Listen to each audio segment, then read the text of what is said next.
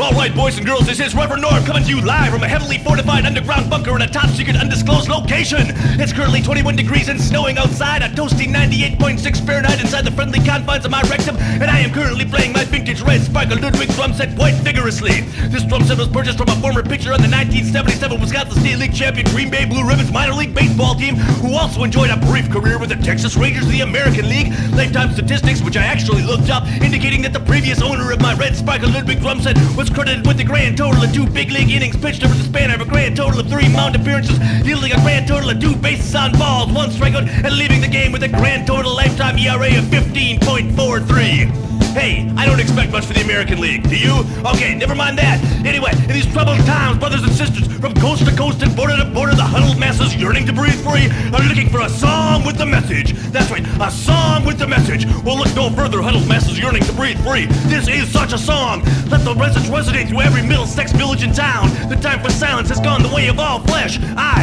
Reverend Norb, have a message, a most compelling urgency that you, the huddled masses yearning to breathe free, need attend to. The message is clear. The message is simple. Hearken unto me, planet Earth and other galaxies, and the Federation, and all that kind of crap. There's something you need to know, and what you need to know is, is. My drums are cooler than shit. My drums are cooler than shit. My drums are cooler than shit.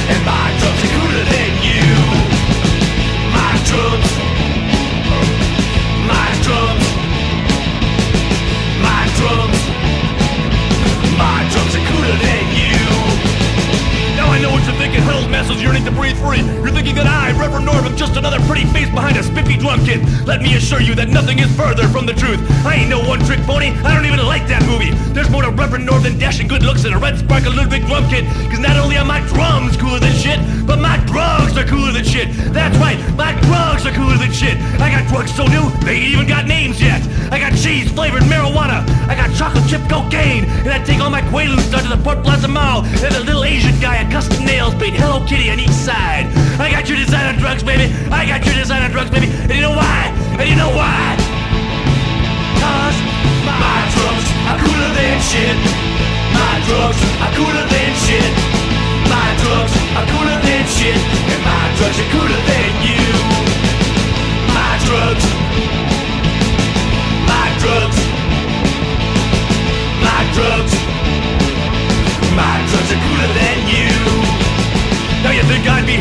My drums and my drugs feel cooler than shit and all, but I'm still not satisfied. I'm still not satisfied. I'm not satisfied because, for reasons quite inexplicable to me, I'm not getting enough poontang. I'm not getting enough poontang.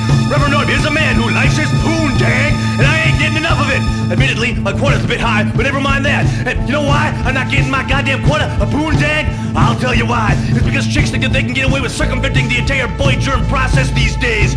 They got vibrators. They got wild all-girl strap-on action. They think they got us down for the count. They think they got us rendered obsolete. They think they got us in the goddamn abdominal stretch of love. But they ain't got us. They ain't got us yet. We ain't dead yet. We ain't down for the count. We ain't down for the three count, the six count, the nine count, the ten count. We ain't down for any kind of count. I don't even know where the hell I am. I'm trying to read along my monologue. I can't even read it. I'm so not down for the count. I can't even read my monologue. That's okay. I'm gonna figure it out, man. They don't have us. They don't have us yet. Cause we got something that they can't get along without. We got something that we got in quantity, and we gotta convince them that they need it. They need it bad. Oh yeah. Alright, I'm gonna find my place pretty soon. Alright, yeah, here we go. And you know, it ain't our naughty bits. No, cause they can go get some high-tech vibrating Gizmo and Paradise books and buzz themselves into orgasmic bliss. It ain't our fantastically refined cunnilingus skills. No, they don't even have to travel outside the confines of their gender for that. No, what we got, what we got, brothers, in quantity, and we have to convince them that they need is fresh squeezed direct from the pump, demon seed. That's right, that's right. I'm talking about pearlychism. I'm talking about the demon semen buildup. We gotta convince them that if their evening doesn't end with a hot jet of man sperm shot across their stomach, the chest, breast, neck, face, back, or parts unknown, that they aren't having a good time.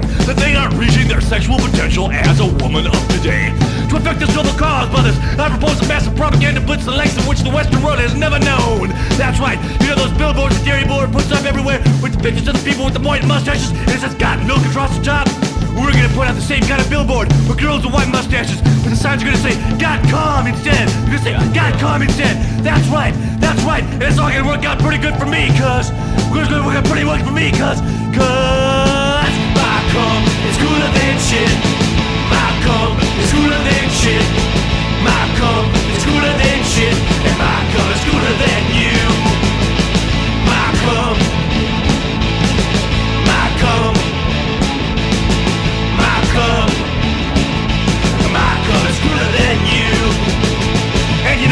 Advertised on Play My Red Sparkle Ludwig drum set. Well, my friend and former bandmate Perry Peralt used to play a blue Sparkle Ludwig drum set. A blue Sparkle Ludwig drum set. Actually, now that I think about it, maybe it was a blue Sparkle, blue, blue Sparkle signal Slingerland set or whatever the hell those things are called. But that's on a need to know basis, and you don't need to know. Stop ruining my monologue. Stop ruining my monologue with the damn questions. Anyway, anyway, Perry Peralt got his blue Sparkle Ludwig kid or whatever the hell it was. It was some guy in his 60s who used to be in a polka band. And they came in, a, they, each drum came in a little hard shell case. And on the hard shell case was a bumper sticker. And each and every hard shell case that bumper sticker said, that's Pokemon in 74. January is Pokemon.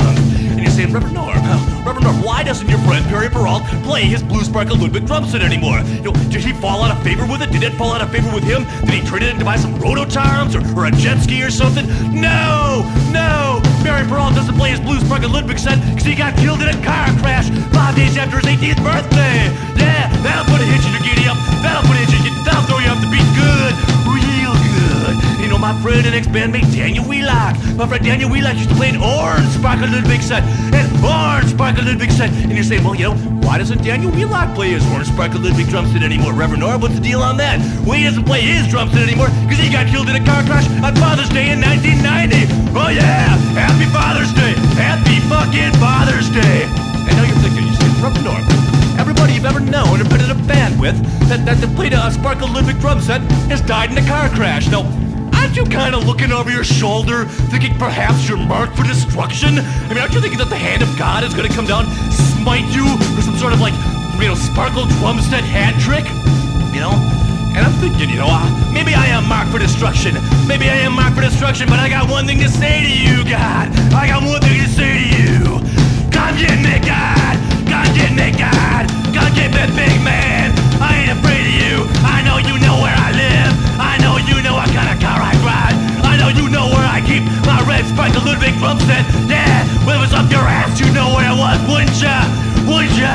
But you know, you know, Barry Peralt and Daniel Wheelock was still with us, God. They might have something to say to you. They might have a little something. They might have some issues they want to work out. They might have some points they want to bring up. There may be a couple grievances they might like to file. They might want to have some words with you. And you know, I think of Barry and Daniel over here today. I think I know what they might say. I think I know what they. Well, I know what Daniel would say. Say, hey man, got a beer? But never mind that. I know the second thing. Second thing Daniel would say, and the first thing that Perry would say.